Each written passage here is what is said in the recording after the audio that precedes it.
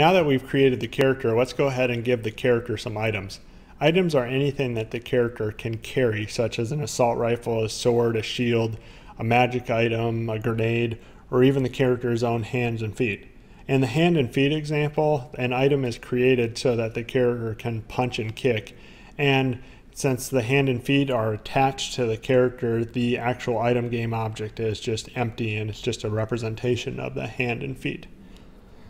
So with that said, let's go ahead and open up the item type manager. And we're doing this because item types are a representation of the items.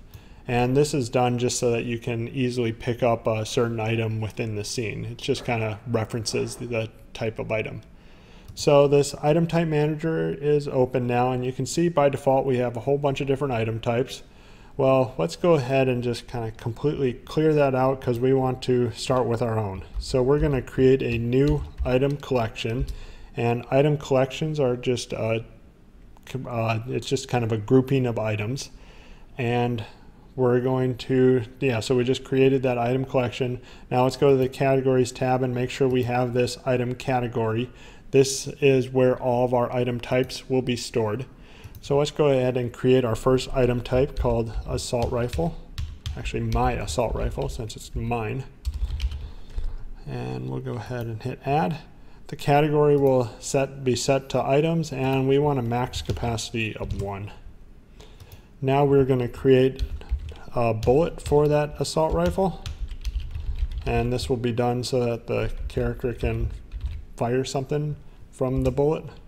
Uh, bullet, there we go.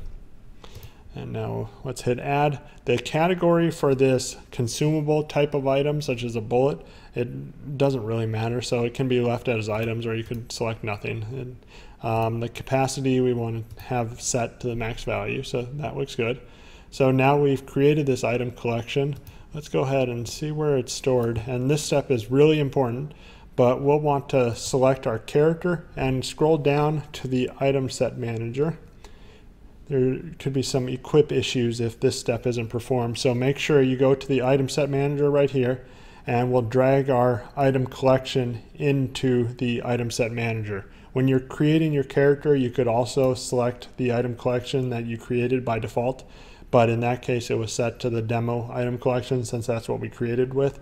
But since we're creating a new item collection, make sure you've set up your my item collection to be set to the item set manager's item collection variable.